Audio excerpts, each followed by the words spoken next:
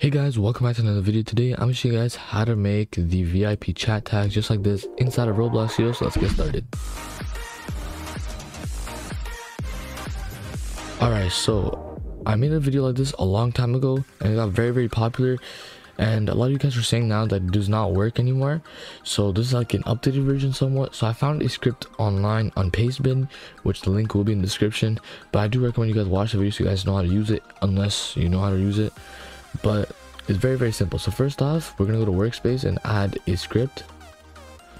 And from here we delete that. Now we're not gonna script anything ourselves. We're just gonna go to chrome.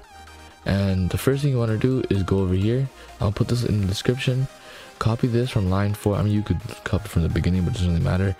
Um to the end over here. I'm gonna copy that.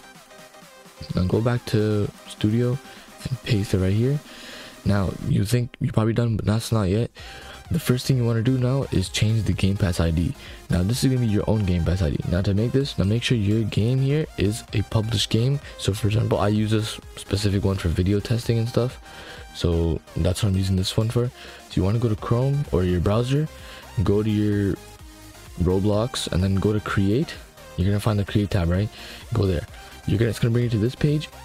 Sorry and you're gonna find your game here. So obviously i'm using this game here. You want to just just click the don't click the edit button just click on the game itself. Now on the side here you're gonna find a bunch of these settings. You want to go to associated items.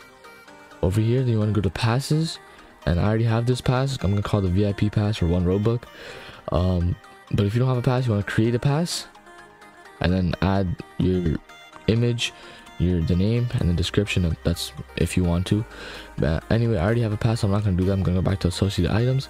Now here's gonna be your pass. Just click on it. And then you again you're going back to these settings you want to change them. But you want to go to the side here go to sales. Make sure item is for sale is turned on and then add your robux. And then save the settings mm, save the changes. After this you want to go you can close this tab go to roblox go to your inventory and then from here go to your passes over here, you're going to find the game pass you just made. I made this one right now. Click on this. And in the URL, you'll find this little code. You want to copy this. And from now, we can turn this off. And then we're going to go back to the script. Get rid of this ID and paste our own ID.